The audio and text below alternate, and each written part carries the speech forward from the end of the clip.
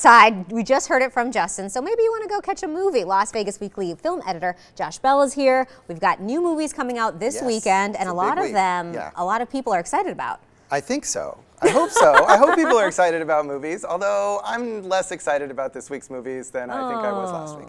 Oh. Um, we got Cars 3. Okay. Is the big, big movie of the week. Uh, could course, be a good Father's Day weekend movie. It could be. I mean, it's certainly a movie for families to go see together. I think that's what they're aiming for here. It's from Pixar, who produce a lot of the best animated movies that we see.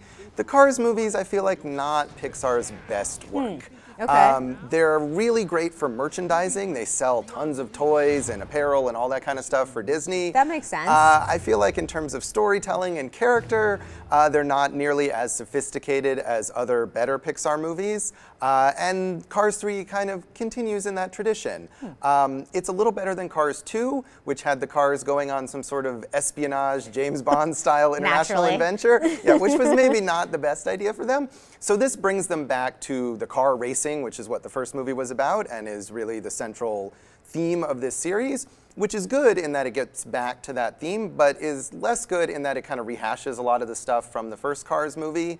Uh, it's really slow. I wonder if kids might get bored kind of in the middle. Uh, but it looks great, as Pixar movies always do, and it's got a lot of detail to it. And I think if parents are stuck taking their kids to this, it's tolerable.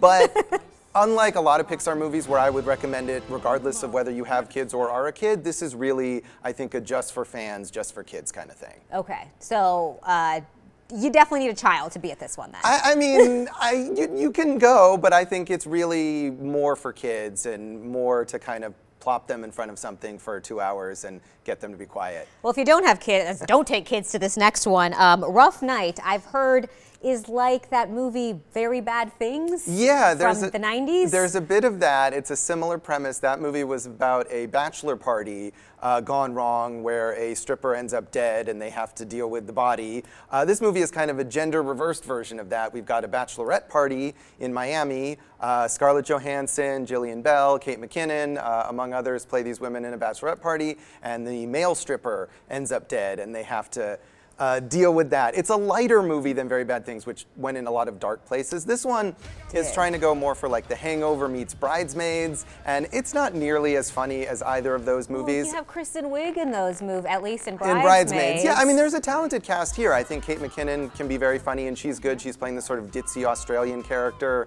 Uh, Scarlett Johansson does a good job as the main kind of straight man uh, character. There's a few laughs, but overall, it runs out of steam pretty quickly, and it, it just it doesn't have enough plot to kind of move all the way through the end of this movie. So I think if you like these actors, you might get a few laughs out of it, but it's not as clever or as original as it should be. All right, fair enough. Thank you so much, Josh. Thank you. Stay with us. We're going to be right back in just over two minutes.